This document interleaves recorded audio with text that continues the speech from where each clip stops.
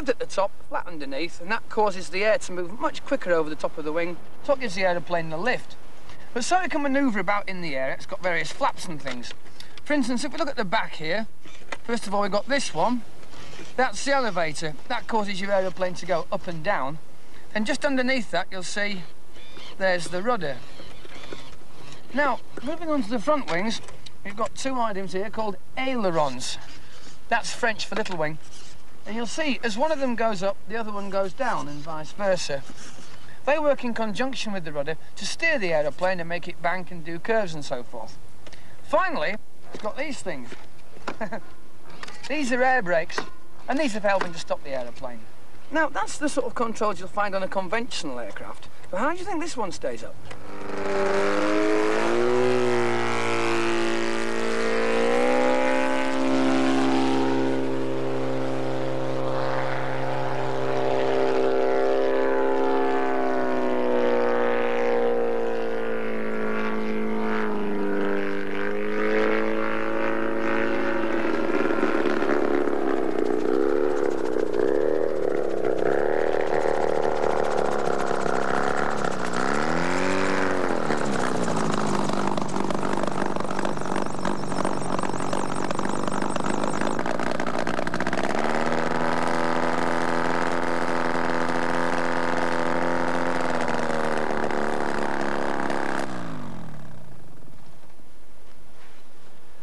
Wing Commander Ken Wallace, that is amazing. Anyway, nice to see you back on Earth. this is your autogyro. What makes it different from a helicopter? Well, the main difference between a helicopter and an autogyro, is quite a big difference actually, is that the rotors on an autogyro are not driven by the engine at all. They're just gliding down through the air just like a sycamore seed, when it falls from the tree, it doesn't have an engine, but it, as you know, it's, it's a little rotary winged aircraft. Yeah, so what, what is the engine at the back doing then? The engine is actually pushing the thing along. You have to keep going forward to stay up, even mm -hmm. though it may be very slowly. So whereas, of course, hover. a helicopter can hover. So what's special about the design of your rotor blades? The same section as an aeroplane wing. They're just the same, they work on the same principle. Their speed really is the fact that they're going round rather than going forward as an mm. aeroplane does. Uh, they're very long and thin to be efficient in yeah. the same way that glider wings are and in fact they're very flexible and the only strength that they have in flight is from the centrifugal force that's flinging them out. As they're spinning around. Yes, yeah. that's the way they get their strength. So while the thing was stationary, if I just lifted one end and you lifted the other end... It would break, oh, yeah. yeah. yes. Cool, you've got some up. nerve, haven't you? yeah, that's totally all right, it's very strong. How do you steer it when you're in the air then? Well, you have a rudder pedal like an ordinary aeroplane, and then a control column, again, just like an aeroplane, mm -hmm. and mm-hmm. it answers in just the same way. If you want to go up, you move the control column back and the rotors actually come back at a, a bigger angle and it climbs. Mm. And uh, if you want to go around to one side, then you move the rotors over and it goes around. It's all very, it feels very You make natural. it all sound very simple, but I'm sure it takes a bit of knowledge of the air and well, a bit of experience. Yes, it? it? flies actually just like a little aeroplane, yeah. except that you can fly much more slowly, of course, and it doesn't stall. Well, it's you've told stable. us about it in theory. I think we ought to see the practice again, just to make absolutely certain it okay, goes. I'll see if I can remember how to do it again. I'm going to get out of your way. Great.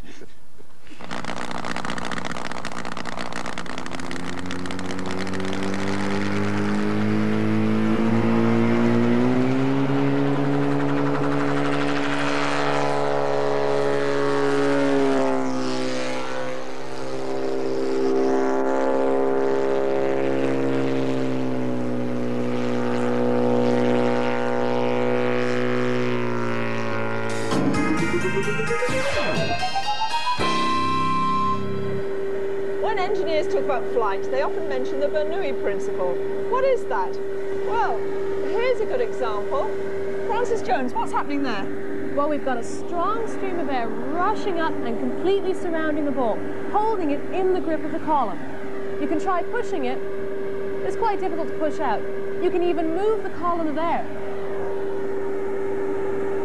And the ball is still held in the grip of that fast-moving air.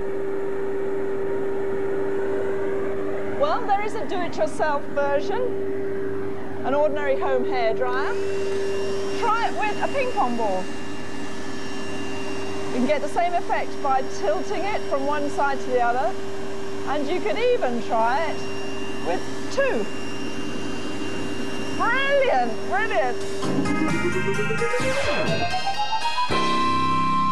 Now, believe it or not, this wonderful machine works on exactly the same principle as a space rocket. What we've got in here, in the red section, is compressed air. Then in the yellow section, it's full of water. Now, there's a valve to join the two together, and watch what happens when I open it. Here we go. this machine blasts water, but a space rocket blasts hot gas. It works on the same principle. right, well, here's another example of the self-same effect. This is a toy rocket this time. What you need to make it is a pop bottle like that, plastic one, but take the cap off the end just so you've got the rounded bit like that, and a kit of parts. Not terribly complicated, you just assemble them together. When you've done that, you half fill your rocket with water. If I can just show you, underneath at the bottom here, can you see like there? That's a brass bung. We're going to start pumping the thing up, and when the pressure gets high enough, the bung sort of releases itself, and you'll see what happens. I'm going to move backwards because uh, Oh, I know what happens. There we go. There's the pressure building up.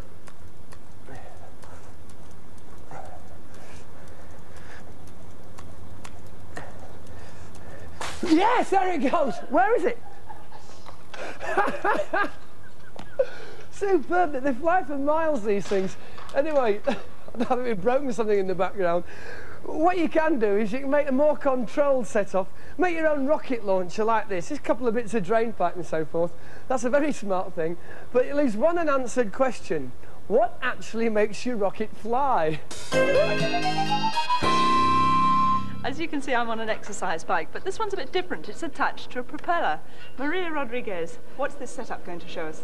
Okay, before I tell you what it's going to show you, how about if you do some work for me, all right? I thought so. okay, why don't you start pedaling? And turning the propeller. Right, here we go. Great. Get up some speed. Oh. Pretty good speed there. Oh, that's not bad. Okay.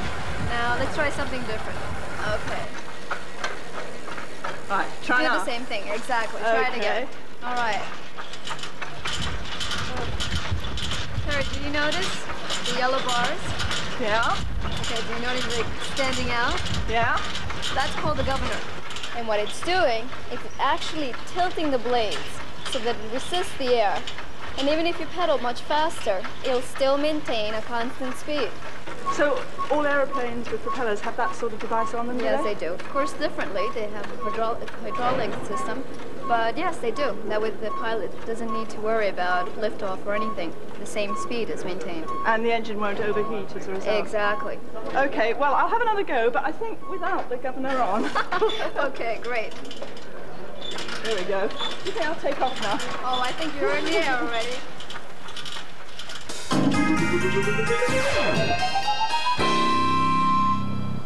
When they design new aircraft, engineers and mathematicians need to study the flow of air over and under the wing. Now that's quite a tricky thing to do because of course air is invisible and so they have to build very expensive wind tunnels to test that.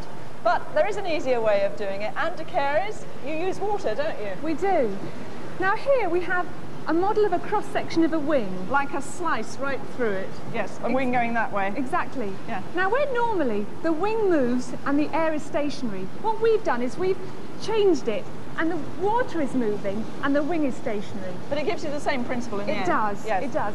Now, when I put my finger in here, you can see I'm disturbing the surface of the water and you can see the reflection on the bottom of the tank. Yes. yeah. Now, with this wing, what we're looking for is we're looking for a streamline effect across the top of the wing and the bottom. So the water is going round that side and around that side, and it's doing it without making very many shadows on the bottom. That means there's not much disturbance of the water going That's round. right.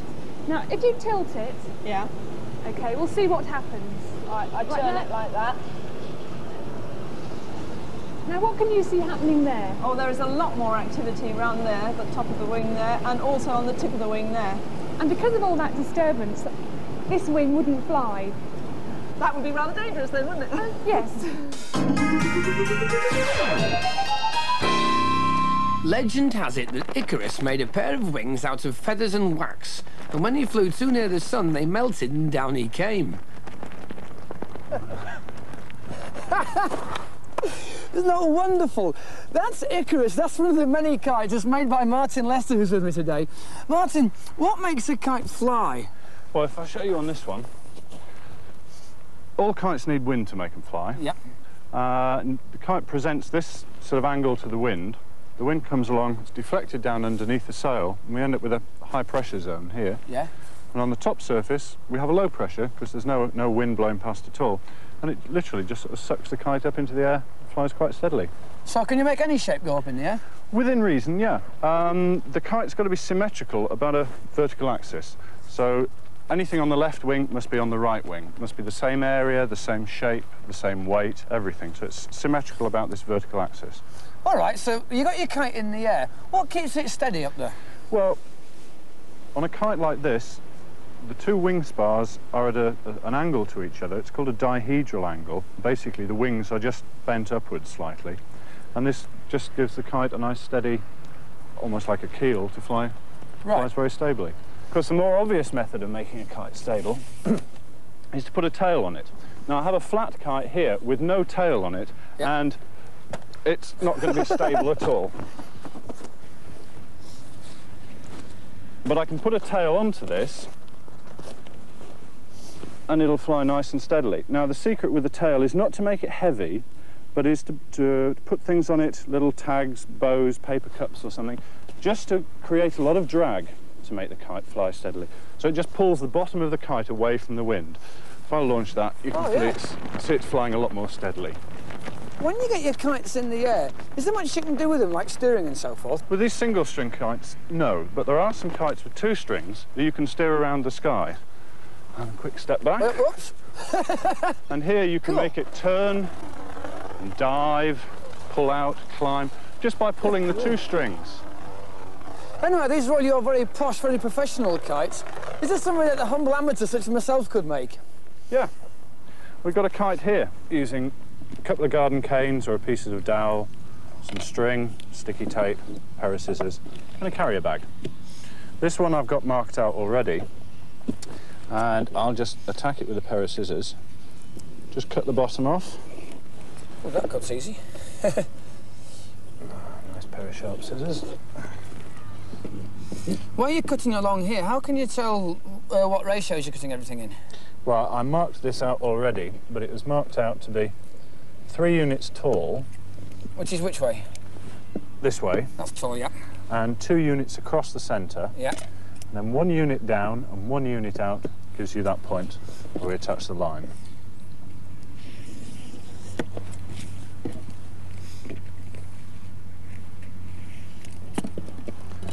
Right, now this bag, because it's a carrier bag, we've cut through both surfaces. We've actually got a spare sail there. We go into this one, and we just take the two canes and stick them down, trying to keep the plastic as smooth as possible without too many uh, puckers or tears. Right. Because the polythene isn't very strong, we just have to reinforce these top corners where we put the line through. Cut a small hole in each corner, and then we just tie one end through there, any sort of knot here, a granny knot or a reef knot. Tie a couple of times so it's not going to undo itself. Most, one of the most important parts, though, is to hold those two corners together. Just pull the string up like that and tie a knot in the centre. And that's ready to fly. That's the most difficult part, and it wasn't too bad. There we go. Whoops. Very, uh, very if you find your kite that does whiz round, can you do anything about that? Yeah. A kite like this, fold it in half and just cut some vents in the lower part of the sail. This one, very simple triangular vent. Uh-huh. And it just spills the wind pressure in the lower, lower part of the kite Right. and it should fly. There we go. Right, well, you've seen Martin do it. Now, what we want you to do is you try and make a kite, but don't stick to those ratios. You can change them a little bit or experiment with different air vents and see what results you get. But you can even try different shapes and sizes of kite. With a bit of patience and a bit of practice, who knows what you're going to get in the air.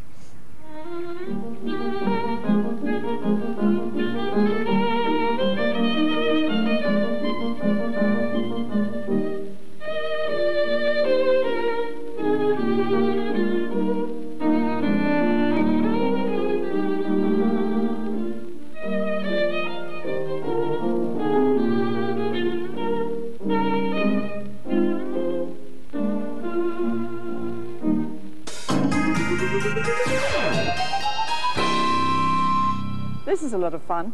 It's a round the pole aircraft and this is the pole. And the electricity comes up the pole and is fed along this wire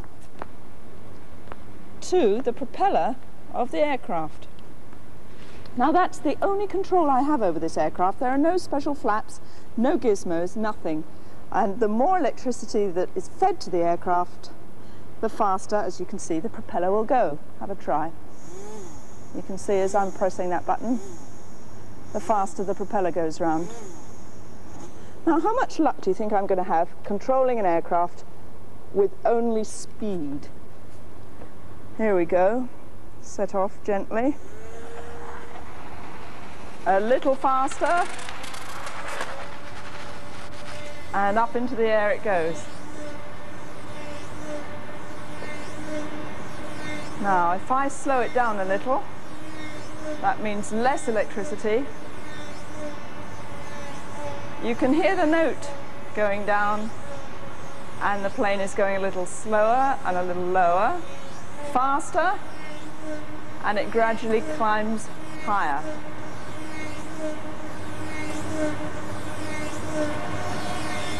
Why do you think that is? Why is it that the faster the aircraft goes, the higher it goes? And it's coming into land. This bag is being filled with hot air from this machine. And if I let it go, you can see it rises. Now, on the end of this string, I've got a balloon filled with helium. Now, the helium in this balloon is at room temperature. It hasn't been heated at all. And when I let it go, it goes straight up. So why does air have to be heated to rise and helium goes straight up without any extra heating at all?